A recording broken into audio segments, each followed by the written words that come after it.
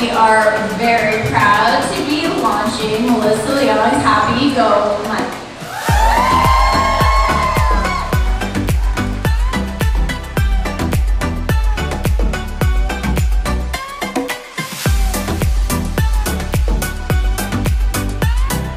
This is probably the first like money that I've ever read, and I read it in two sittings, kind of being like, oh god, I gotta read a book about money. Can't stop turning the pages. True story.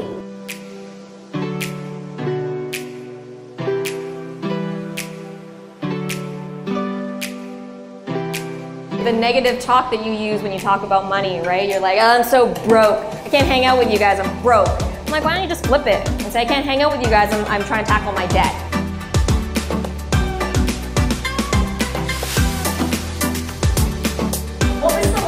Item that you spent your money on? One thing. How happy did it make you? Melissa, what was the last item that you spent money on? This party. Yeah!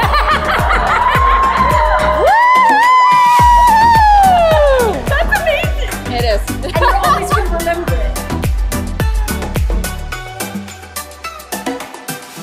When you go on a journey to write a book, there are a lot of people who are part of it in so many different ways. And so thank you so much. And I hopefully that I can, I can come down and tell you how grateful I am um, to have you guys in my life and to have the support. I'm really appreciative.